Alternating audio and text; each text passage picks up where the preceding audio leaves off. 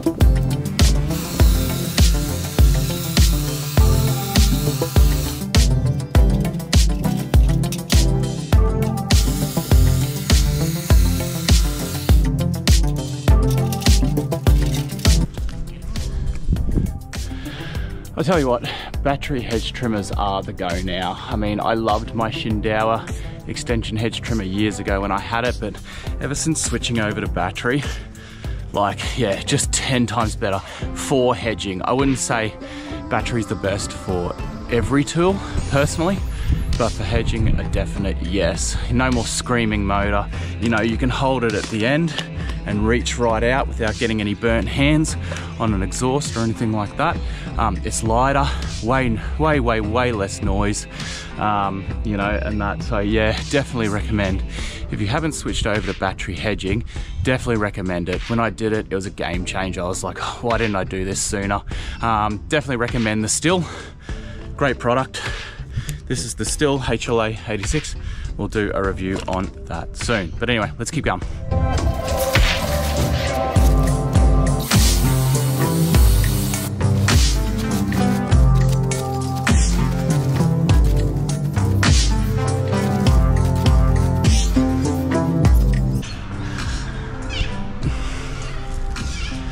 All right guys, quick pro tip.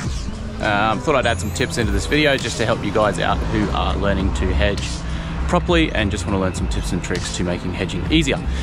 So an easy way to clean up or, you know, in this case, the garden bed has fresh mulch on it. We don't want the leaves landing on the mulch. So what we do is use the tarp. So put a tarp down and just hedge everything onto the tarp you can wrap the tarp up, take the stuff away. Super easy. So yeah, quick tip, get yourself a tarp. Don't get it too massive because in the windy days, you'll be, you know, kicking and screaming. Um, but yeah, just get a decent size one, uh, you know, that you can put under your hedge, utilize easy. Clippings fall onto that, wrap it up, put it in the trailer, away you go. Yeah, let's keep going.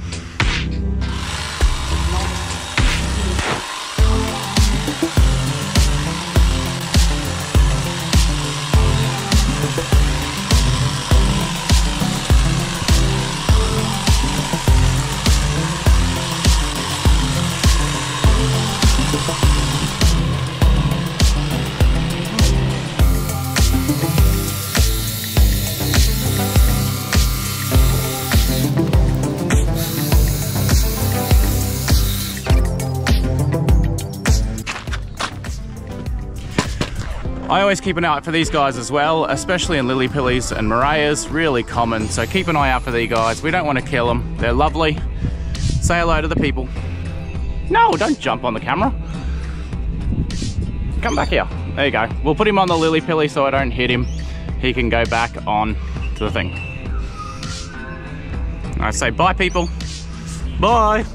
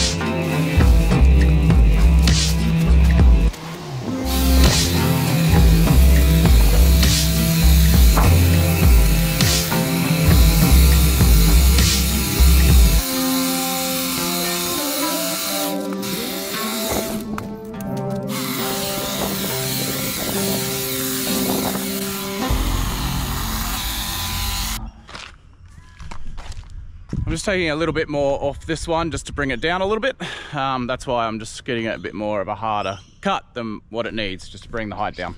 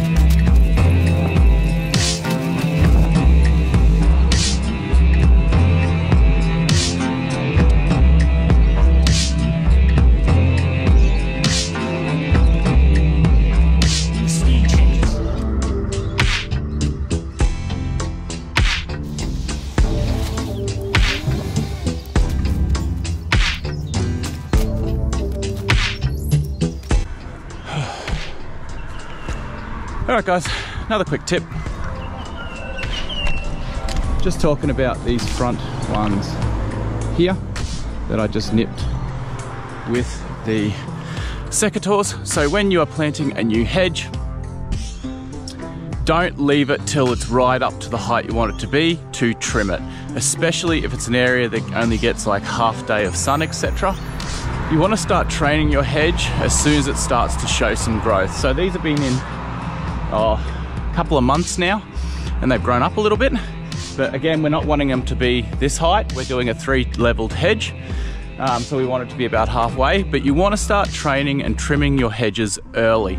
And that promotes new shoots to come out and more shoots and to thicken up lower in the base. There's many people who plant hedges, wait till them to grow up to like where they want to be um, in the way of their height, and then they trim them then. But all that time, well, growth is all on top, ends up shading the lower section, and you can't um, and you can't get the sun through to the lower section to thicken up the lower part of the hedge. So yeah, make sure when you're doing a hedge to start trimming it early, starting to thick it up, and you'll be much more thankful and it'll be more fuller uh, come time when it's up to the growing height you want it to be. All right, let's keep going.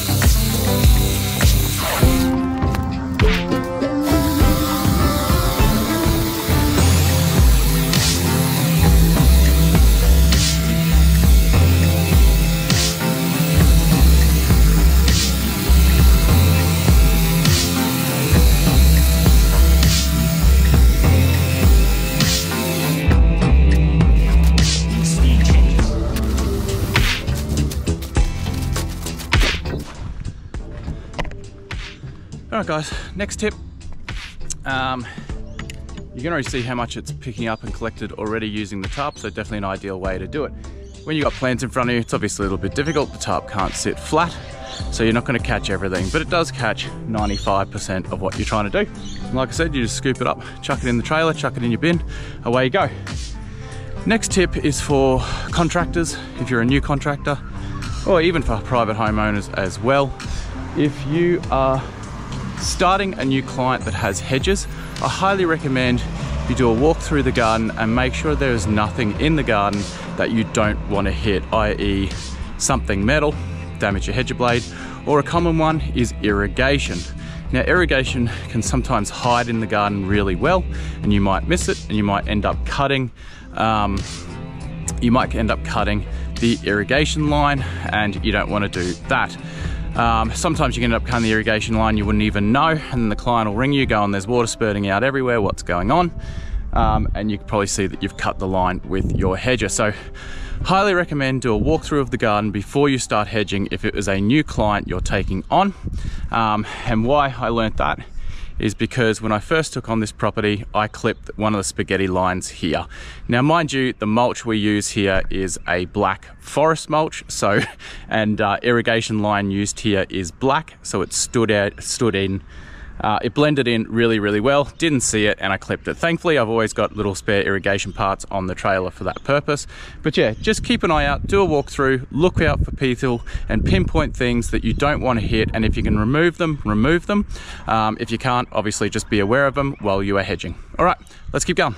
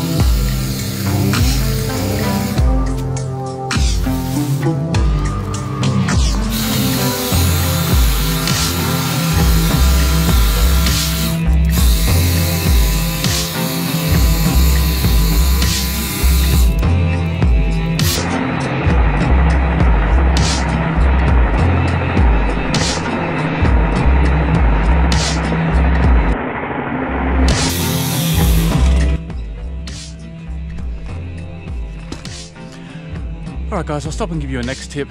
Now, when it comes to hedging, when you're moving along, whether or you're on the face of the hedge or on top of the hedge, you always want to put your hedger on a slight angle towards the direction you are going.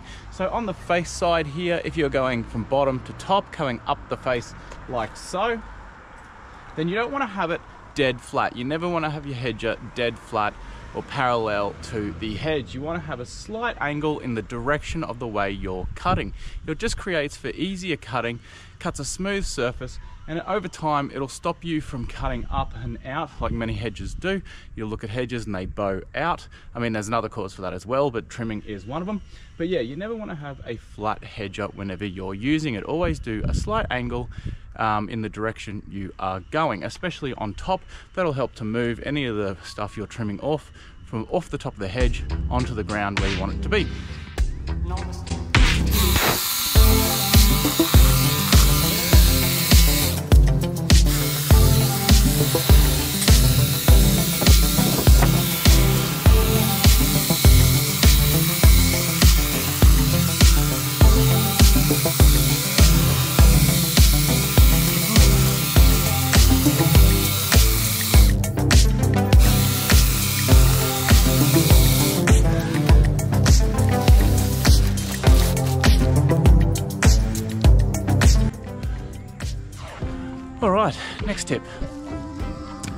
So, next tip I would give if you trim your hedge and you find you have a lot of debris sitting on top of the hedge, especially common if you are doing big hedge reductions, you'll have a lot of stuff that'll get caught up in on top of the hedge and not come down when you hedge it.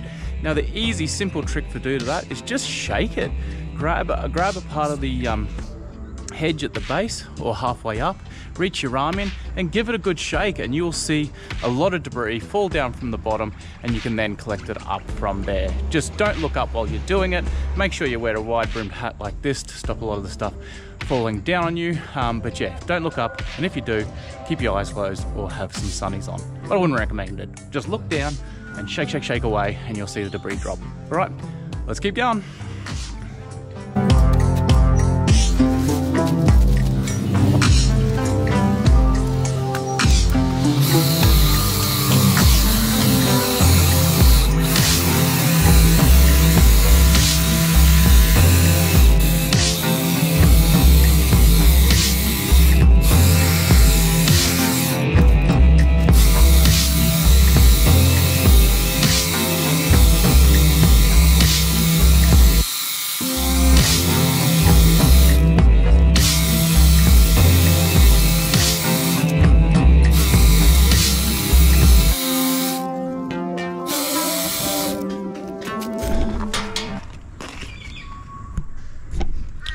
All right, next tip.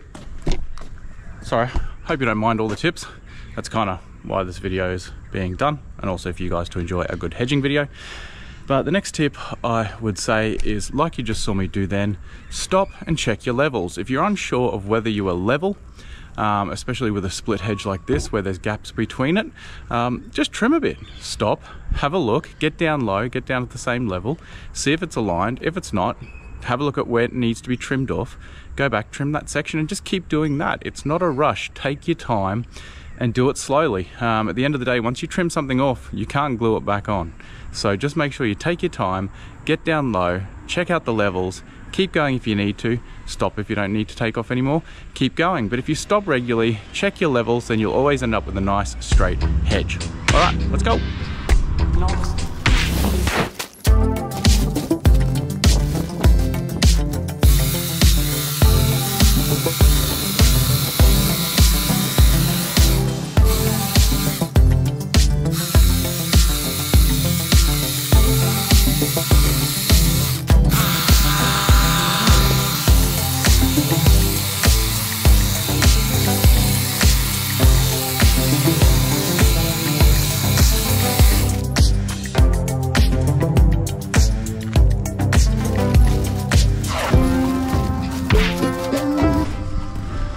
Alright, so that's using the tarp, simple as that.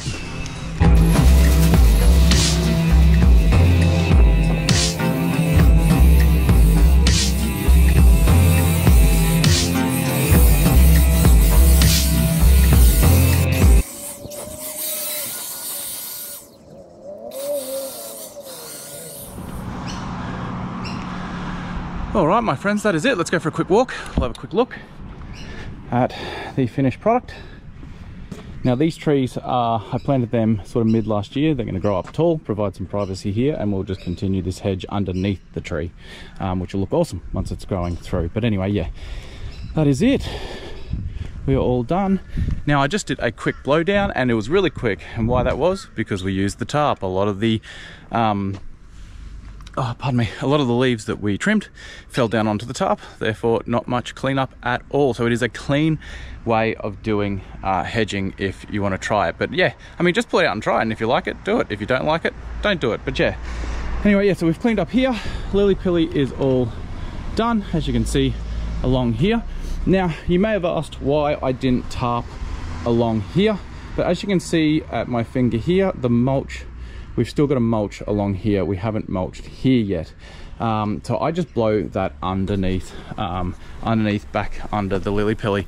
And yeah, another tip for that as well is don't be afraid to blow the um, leaves and trimmings back under your hedge. That just creates a natural mulch, which is absolutely fine. Um, and it'll break down all that sort of stuff. So yeah don't be afraid to blow them back under. But yeah we are all done at this property. Thanks so much for joining me today. I hope you found these tips helpful and you learned something new out of this video. If you did make sure you press the thumbs up or if you just enjoyed a nice hedging video then be sure to click the thumbs up on this video and share the channel out to any of your friends that might be interested in learning about their lawns and gardens. But yeah i'm to wrap it up here and we are moving on to the next day next day the next job the sun is out and it is baking make sure you have your hat on and sunscreen and drink plenty of water as always but anyway, my lawn and garden friends, thank you so much for joining me on today's video. I hope you have a cracker rest of your day. I hope you're staying well, mentally and physically as always, and we'll see you legends in the next video.